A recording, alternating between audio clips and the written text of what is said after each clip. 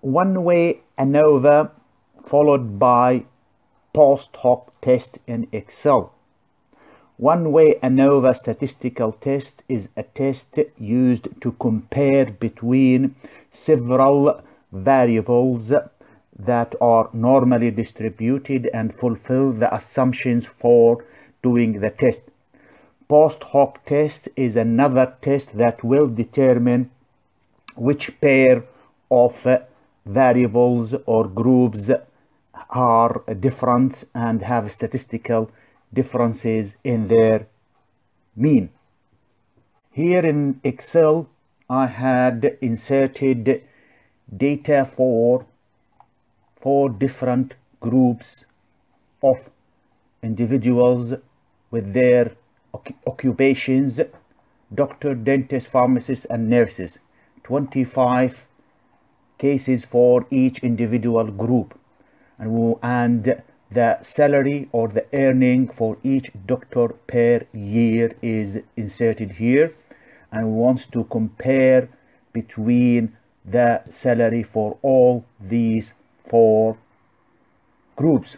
So the salary here is the dependent variable and the grouping is the independent variables which is the occupations.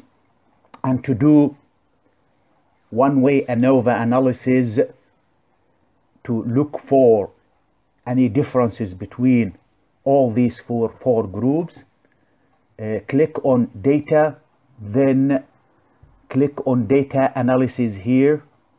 And if you don't have the icon for the data analysis there is a way to insert and place that data analysis in Excel by clicking on, file click on more and then uh, click on options click on add ins then click on go and this window will appear. Tick this if it was unticked analysis ToolPak uh, and then click on ok so to do one way ANOVA click on data analysis. A window appear here. And we're going to select the analysis tool for ANOVA single factor. Click on ok. A window will appear here and we are going to input the range for the data. And we're going to select these data data shown here.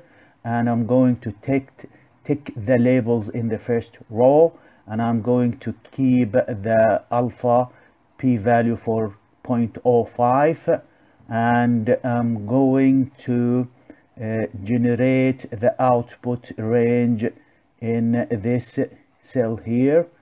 And if I click on OK a table is generated for ANOVA showing first descriptive a summary and then ANOVA table in the summary here we can see that there are four groups doctor dentist pharmacist and nurse. And there are 25 participants in those or members of this each group.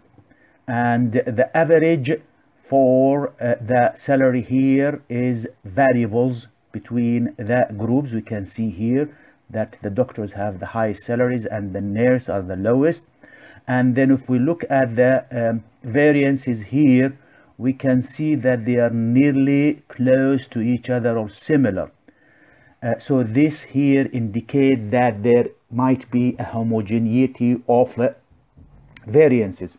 For doing a ANOVA you need to satisfy one of the assumption which is homogeneity of variance. And to check whether your data um, follow that homogeneity of variance there is a certain way to do that and I will produce that in a separate video. But at this stage we will move ahead with the analysis of ANOVA. In the next table ANOVA labeled as ANOVA shows that there is a um, if we click enlarge this one it says that between groups and as we can see here an F test is performed and a value is generated and p value here is less than 0.05 which means that this uh, um, test shows that there is a significant differences when we compare all the four groups uh, based on their salaries.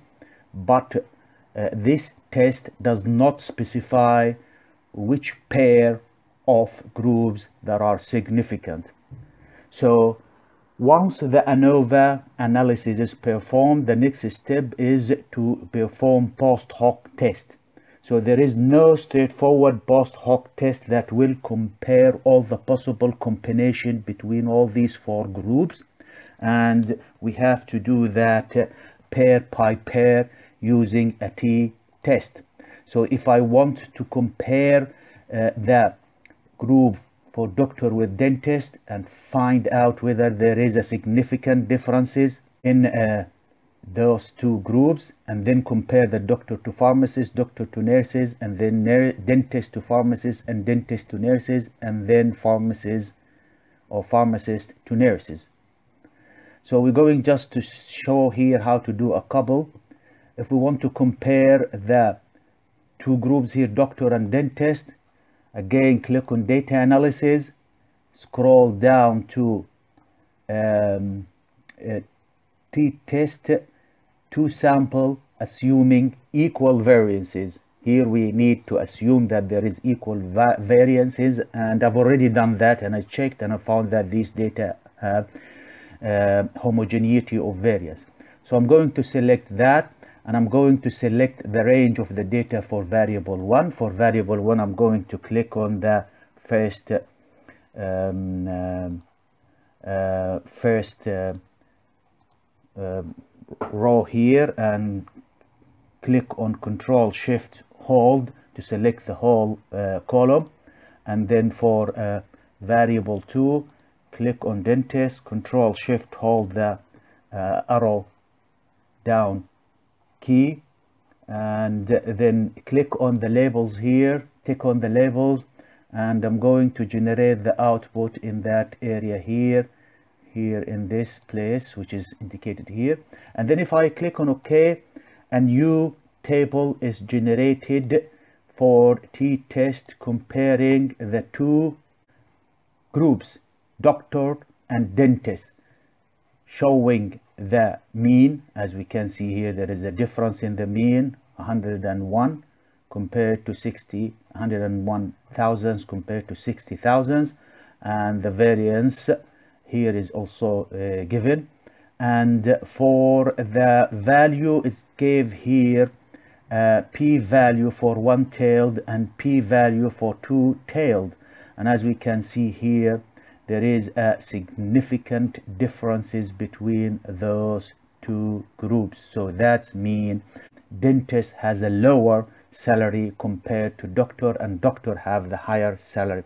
And if we intend to do also um, comparison between doctors and pharmacies we'll repeat the same thing. Click on data analysis.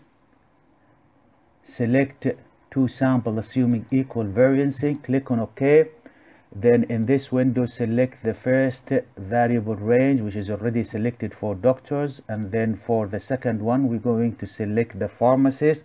Click on control shift and and keep holding it and click on the uh, down arrow key. Uh, click on this uh, tick on this labels and then select the output range and insert the output range here in this place. Let's keep it in this area and then click on OK.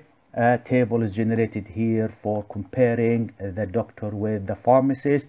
And from that table we can see that there is a difference in the mean between doctor and pharmacist.